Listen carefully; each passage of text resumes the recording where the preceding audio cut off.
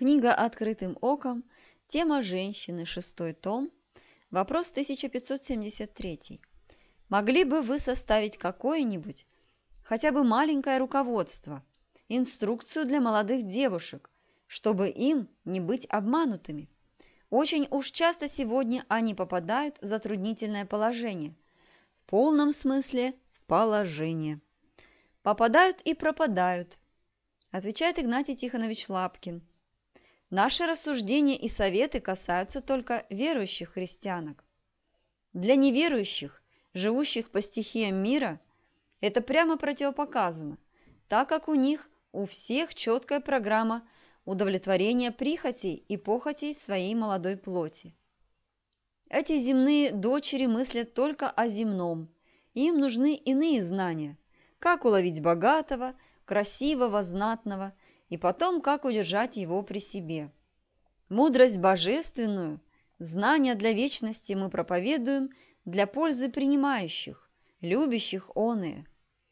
Варуха 3.23 Сыновья Агари искали земного знания, равно и купцы Меры и Фимана, и баснословы, и исследователи знания.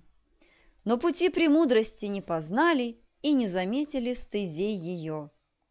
Если бы в христианских семьях девушки имели воспитание строгое, как у мусульман, то вопрос и не стоял бы, что и как ей делать, так как за нее это сделают старшие, а она должна только слушаться их.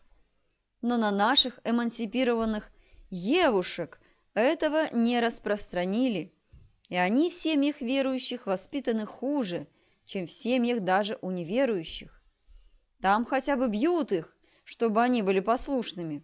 Там хотя бы негласный, безбожный домострой действует, а у верующих и этого нет. Они настолько вольно себя ведут, говорят, что хотят, идут, куда заблагорассудится, и знакомятся с кем угодно, и даже наедине. Сирахова 43, с 9 по 11 стих. Дочь для отца – тайная постоянная забота, и попечение о ней отгоняет сон. В юности ее как бы не отцвела, а в замужестве как бы не опротивила. В девстве как бы не осквернилась и не сделалась беременную в отцовском доме. В замужестве, чтобы не нарушила супружеской верности, и в сожительстве с мужем не осталась бесплодною.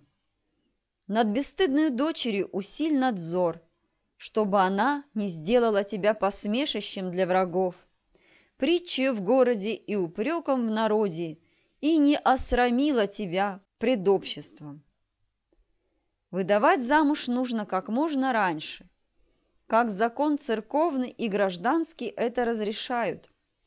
Если же до 30 лет не вышла замуж, то нужно бы засушить все мечты об этой яме и сидеть под своим деревом, потому что у такой уже характер вполне сформировался. И если она притом крепко верующая, то у нее уже на все есть свои взгляды. Она вполне самостоятельно может разбить любого кандидата.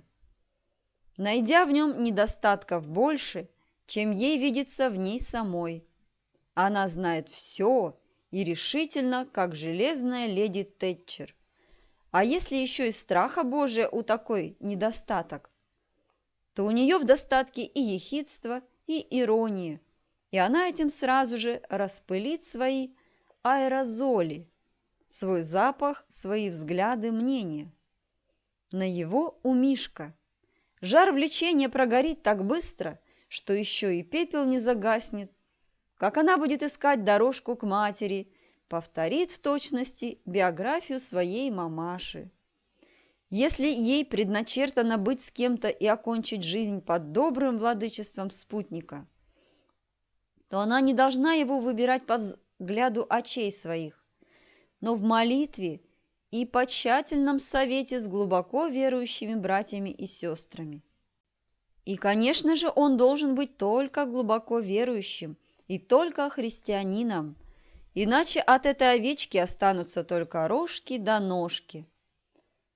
Иной мирской искусник и охотник за юбками так изощрился в коллекции бабочек, что готов охотиться на, за нужной год и два, будет и креститься, и молиться, чтобы на своей булавке рассматривать новую жертву доверчивости. Бытие 34, 1, 2.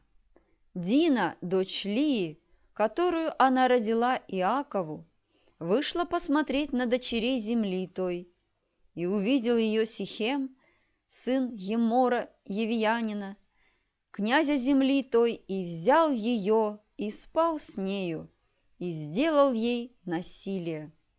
Никогда нигде, тем более в сумеречное или ночное время, не ходить одной, ни с кем из неверующих не заводить знакомства – не пытаться такому ухажеру свидетельствовать, якобы пытаясь обратить его ко Христу.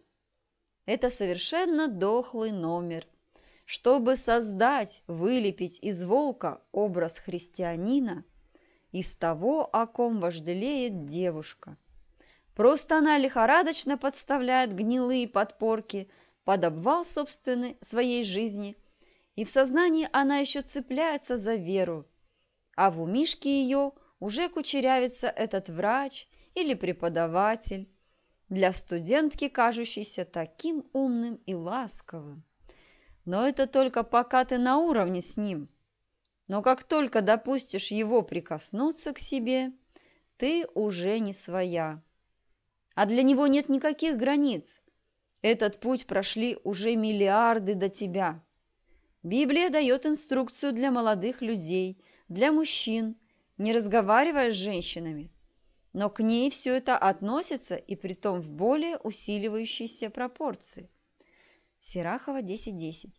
Отнюдь не сиди с женою замужнею и не оставайся с нею на перу за вином. Если девица по-настоящему верующая, то ей наши советы будут на пользу.